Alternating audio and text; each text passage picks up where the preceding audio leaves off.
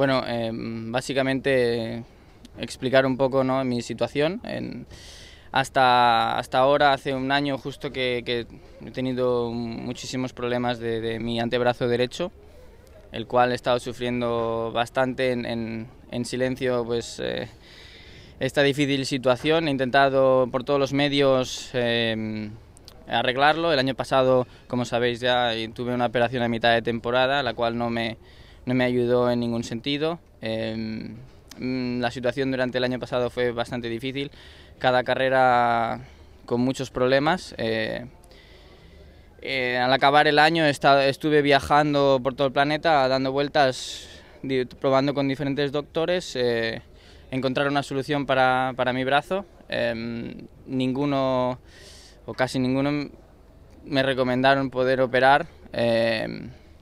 Así que, bueno, seguí sus recomendaciones, intentando no operar, mejorar el brazo, con algunas técnicas, pero, pero es evidente que, que no puedo seguir corriendo de esta manera porque no puedo, no puedo, no puedo dar lo máximo de mí. Eh, hace ya tiempo que sufro de esta, esta situación y, y, mm, es muy difícil seguir compitiendo para así, ¿no? en esta manera. Eh, bueno, el equipo sabía de esta situación evidentemente y, y bueno, ahora ha llegado un punto en el que tengo que retomar la, el camino de, intentar arreglar, eh, intentar solucionar el problema. Eh, no tengo muchas respuestas ahora de cómo va a ser, pero tengo que intentar buscar la manera de solucionarlo. Eh, es evidente que así no puedo, no puedo seguir corriendo porque no, no puedo dar lo mejor de mí.